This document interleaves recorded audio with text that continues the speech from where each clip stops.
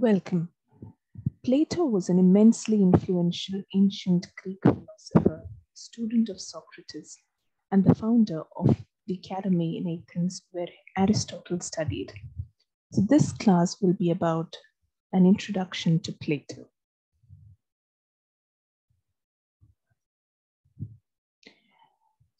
Plato was a pivotal figure in Western philosophy, along with his teacher and um, Socrates and student Aristotle. He has been a major um, influence on not many critics, and he was majorly influenced by Homer, um, uh, the writer of Iliad and Odyssey. So Plato lived during a time of political decline and dissolution. Education was in a very sorry state at that time, and the epics of Homer were venerated by the Greeks at that time.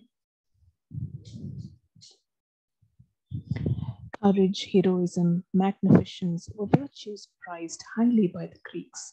So during this time, um, philosophers and orators were regarded as leading spirits and very superior to poets and artists.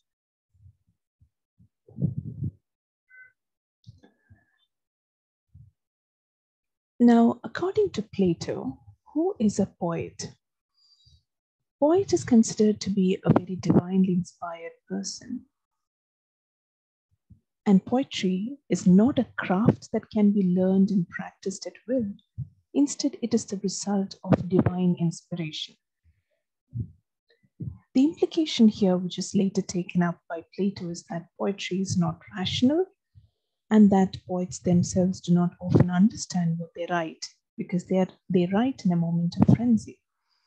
Therefore, poetry cannot be relied upon as it is not the result of the conscious mind. So you can find that according to Plato, poetry is not rational. Plato disapproves of poetry because it is immoral, and he says that philosophy is better than poetry because philosophy deals with idea or truth, whereas poet and poetry deals with what appears to him, which is an illusion, okay? or um, rather, it's a moment of frenzy, the product of a moment of frenzy.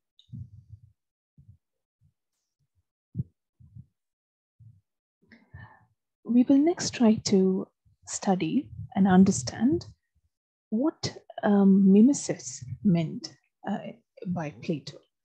Plato believed that ideas or heavenly archetypes alone are true and real. All earthly things are just copies of uh, the heavenly archetypes. In other words, beauty, goodness, justice, etc., are mere copies of the ideal beauty, ideal goodness, etc., which exist in a heavenly realm. Plato regards mimesis or imitation as a mere representation, not an expression which is creative.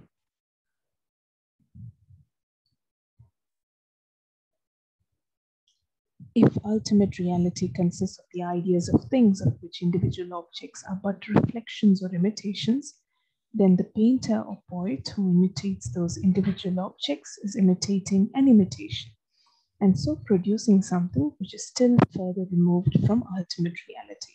That is why mimesis is thrice removed from reality in the Platonic concept of the world. This is an example. Um, a chair exists firstly as an idea, secondly as the object of craftsmanship, and thirdly as an object of representation in art. To summarize, Plato attacks poetry on intellectual, emotional, and moral grounds, and he demonstrates its uselessness and its corrupting influence. Thank you.